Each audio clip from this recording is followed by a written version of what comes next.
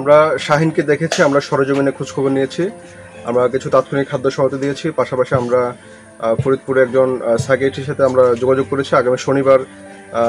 তাকে দেখানো হবে এবং তার যে পরামর্শ, সে পরামর্শ অনুযায়ী পরে, তারপরে আমরা পরবর্তী ধাপে যে চিকিৎসা, সেটা আমরা বাস্তবায়ন করব।